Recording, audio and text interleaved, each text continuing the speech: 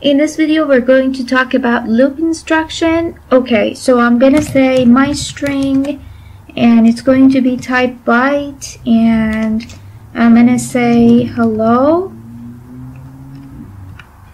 Then what I'm gonna do here, I'm gonna say loop as a label and inside of my loop, I'm going to say um, move edx. Actually, we can do this outside of the loop. Move edx. Um, offset of my string. And then call call write string is going to come here. But before that, we need to do something else too. Whenever you want to declare a loop, you have to tell it how many times you want it to loop.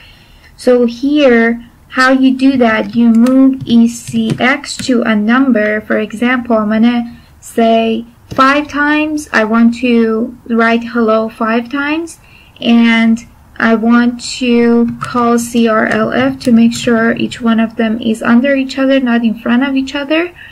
And I'm gonna say loop, actually, I'm gonna say L1 and loop L1. And that's it. So let's go, go through the lines again. I declared um, my string, it's a type byte, and it says hello. And then I move that inside of EDX because if I want to print any type of a string, I have to put it inside of EDX register. And then this line is important. Uh, I put 5 inside of ECX register because that is what going to tell the loop how many times it should it should loop. And it's going to loop five times. And then I put a label to show the start of my looping.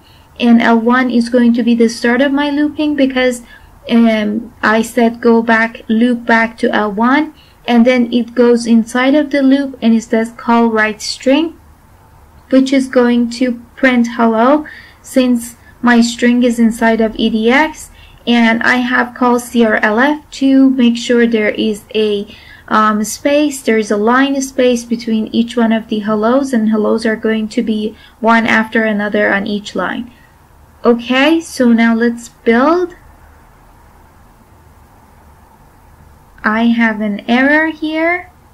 Move EDX to offset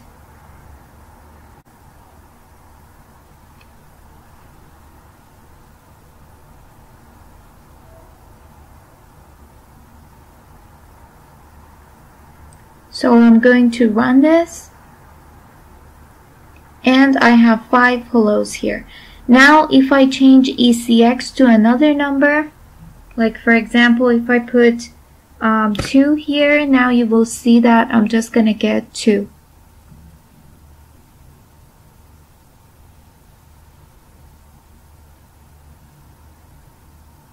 I'm just going to get 2.